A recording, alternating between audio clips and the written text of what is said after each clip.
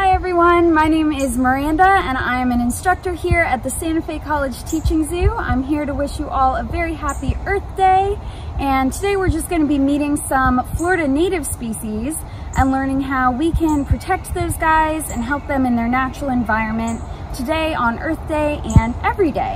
So come along and we'll start meeting some animals. So this is our first animal that we're gonna be meeting today. He is having lots of fun going all over my arms. His name is Jake, Jake the snake, and he is a corn snake.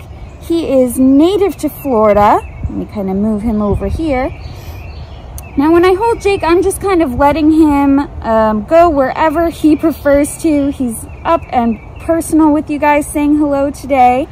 and we're just gonna be talking about the importance that Jake plays in our Florida ecosystems. So Jake mainly prefers to eat rodents, um, like mice and rats, and that allows him to be a natural sort of pest controller. So if you see Jake kind of in your yard or um, around the outside of your house, they're often found um, up in barns and areas like that, he is perfectly fine to stay there. It's totally safe for him to be there. He is a non-venomous snake and he's actually just hanging out helping control rodent populations for us. So if you ever see a snake that looks like Jake, we want to just give him his space, leave him alone, and let him do his job for us here in Florida. This is an eastern box turtle. They're another animal native to the southeast region of the United States, so we can find these guys in Florida, Georgia, and all surrounding areas of the southeast. And what we can do to help these guys out, um, especially this time of year, we're gonna be seeing lots of box turtles and other tortoise and turtle species crossing roads.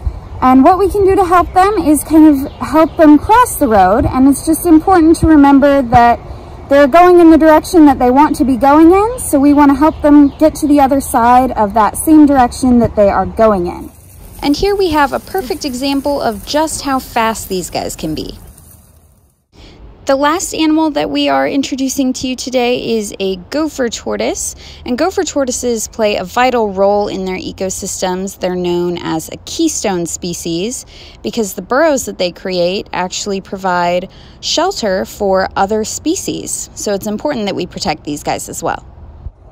Thank you so much for watching and meeting some of our awesome Florida native animals that we have here at the Santa Fe College Teaching Zoo and keep following along to watch some more videos that we have for you guys to celebrate the Party for the Planet that we have going on. Thanks so much.